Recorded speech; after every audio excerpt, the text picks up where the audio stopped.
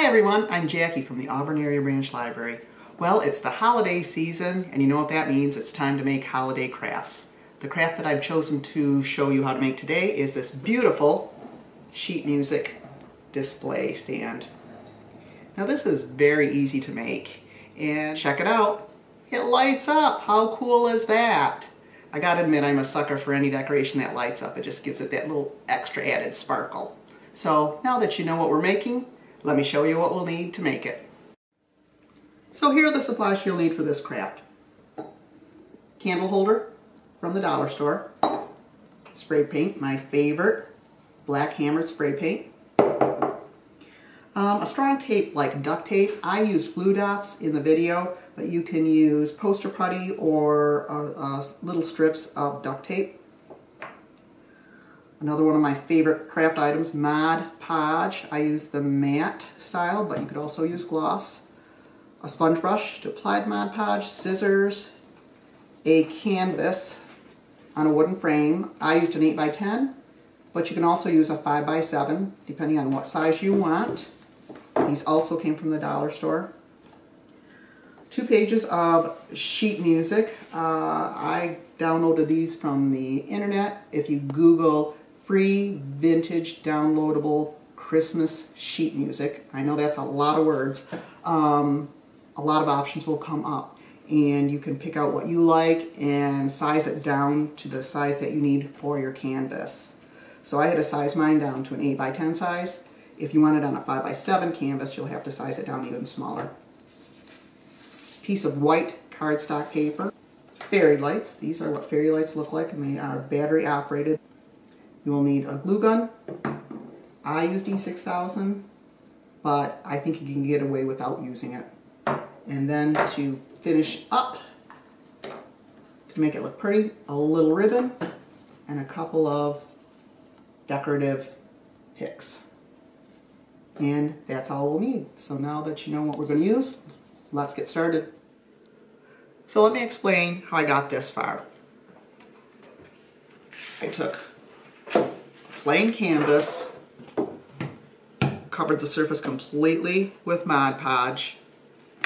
I took my blank sheet of sheet music, adhered it to the top, smoothing out the wrinkles, and I let it dry.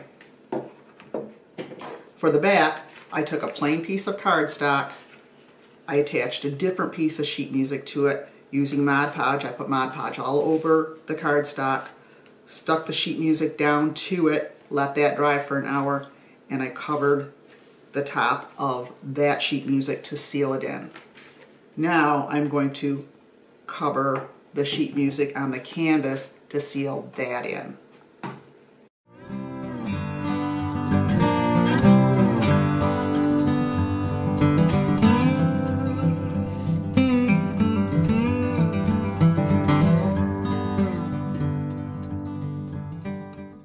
Okay, now that I have both pieces of sheet music Mod Podged, I'm going to put the lights in the back of the canvas. I'm going to turn the lights on so I can kind of see where they're going to fall within the frame. And I'm going to put the battery pack at the bottom of the sheet music. These are on a wire so they just kind of go any which way you bend them.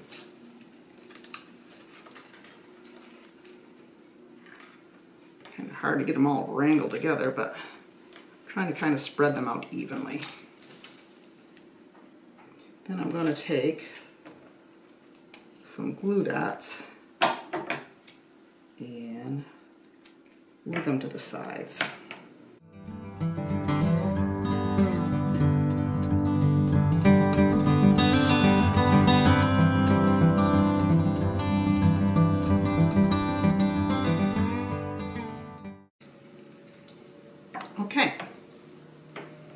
Now it's time to put the backing on the canvas. Kind of look and make sure you like the lights spread out the way they are. Stick that in there. And I'm going to use the same glue dots and start gluing the backing down.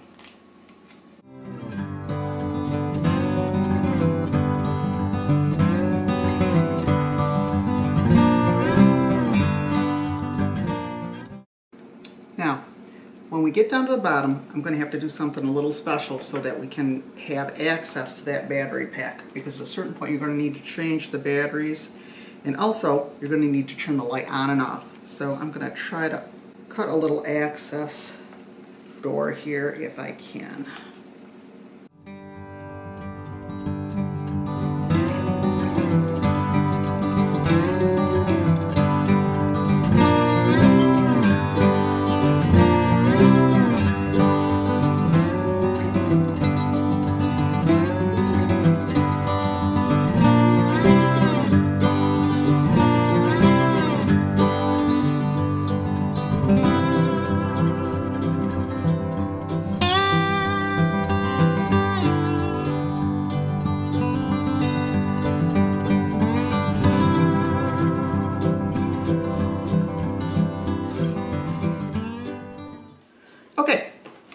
So now I've got both pieces of sheet music on the canvas.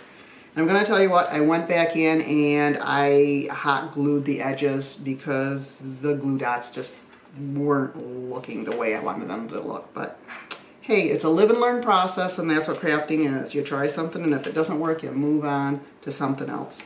So right now what I'm going to do is I'm going to glue this black ribbon all the way all the way around the edge of the canvas just to give it a little bit more of a finished look. That way you don't see the canvas sticking out. So I'm going to go ahead and start at the bottom and take it all the way around.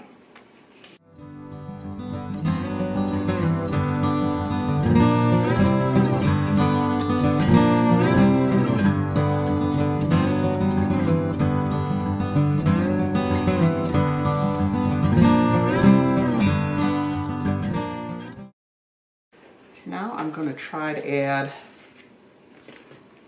a little decorative bow at the top. Let's see if I can make this work.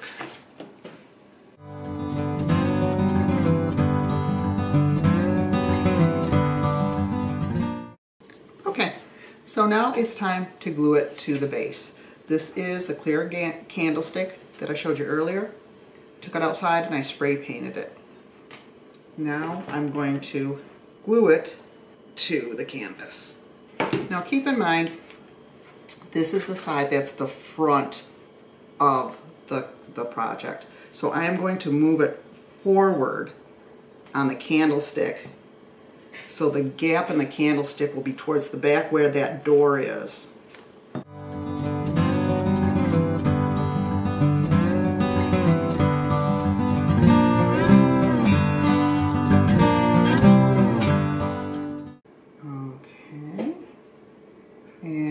Hold it like that for a little while until it dries. Okay, so on the back, I cut little slits to make a little opening here. This way you can get in here to turn the lights on and off, and also when you need to oops, change out the batteries, you can pull that battery pack right out to change it. Now to cover up this little opening here, put in your decorative picks to cover it and hold it in and nobody will even know it's there. And here it is, the finished product. Now keep in mind, you can put any sheet music printed off on copy paper in here, maybe a song that's special to you. Thank you for stopping by and making this craft with me today, and from all of us at the Bay County Library System, have a happy and healthy holiday season.